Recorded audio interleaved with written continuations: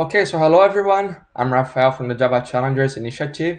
And today we're going to see a Java Challenger about streams and the grouping by method. Okay, so that's the Challenger. As you can see here, we are using Lombok. So if you don't know, Lombok, it's a library that helps you with the boilerplate code. For example, instead of creating lots of getters and setters, we can just put the annotation here at data and that means that Lombok will be creating the getters and setters for us. And the all args constructor, it means that it's going to create a constructor with those attributes. Okay, so just one thing that we shouldn't use at data on every pojo because uh, we would be breaking encapsulation. So use that carefully because we want to restrict our attributes as much as we can. I used at data here because it's a Java challenger. So this example, this challenger is for going deep into the Java language. But uh, you should use that carefully, unless you have to just expose every attribute from your class. Otherwise, use that carefully. Okay, so that's the challenger. and we have here a list of characters. So we've got here Homer Simpson, Bart, Ned, and Todd. And here we have the um, I stream in that list. And then we are collecting and we are using the grouping by method.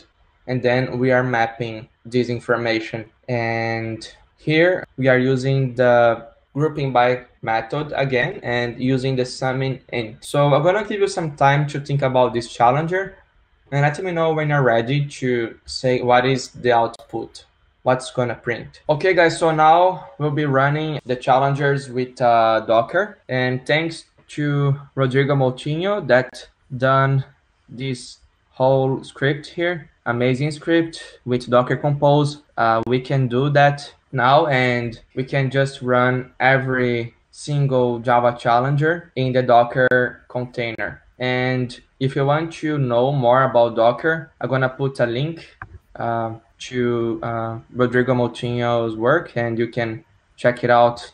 A lot of cool stuff about automation. Okay guys, so now that we compiled everything with Docker and we had to run some extra commands here, but I can't show that because Otherwise, the challenger would be very long. But um, yeah, further actions are necessary when we are using external library like Lombok. But now that these uh, those issues are solved, let's run it with Docker. So, okay, are you ready? You see the answer? Yep. Yep. Okay, so let's see what is the answer. Oh, yeah, man. Yay. Congratulations, guys. You got it right. Thank you, man. Very good one. Okay, so let's see why uh, the answer is that one. So here we are using the collection factory method. So we are basically creating a new list. And then here we are using the grouping by method. It's a very powerful method and it works very similarly to the group by instruction on SQL. So what we are doing here, we are grouping by we are firstly running into the string of character list and then we are collecting a grouping by information that is grouped by the share name. So we've got here two share names. We've got Simpson and Flanders. So what's gonna happen here? We're gonna group this information by the share name and then we're gonna show the name that would be here like we are seeing here uh, Flanders, and then Ned and Todd, Simpson, then Homer and Bart. And here we are using the other method called summing int. And what we are doing here, we are also grouping by share name. So that would be Simpson and Flanders.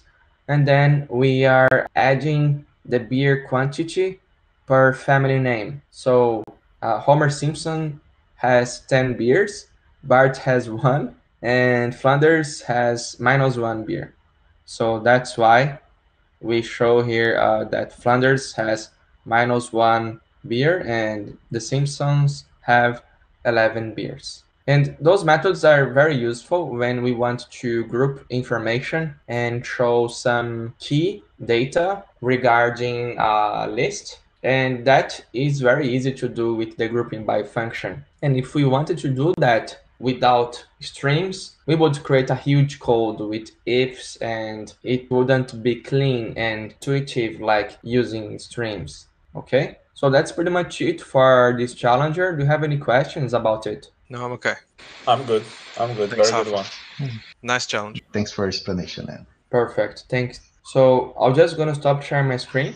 Okay, so that was the challenger about map and grouping by. It's a very important method to know about because it's chances are that we're gonna use uh, grouping of information very often. So if we know that, we make our code cleaner and easier to understand. Okay, so other than the summing int method, we've got a lot more uh, of methods like average um, and many more. Okay, so yeah, that that was the the main topic of this challenger, and I would um I'm going to recommend you to get the Java Challengers code. I'm gonna put here on the on the video. So that's the link to um, download the Java Challengers, and I'll also put this this link on the description of this video.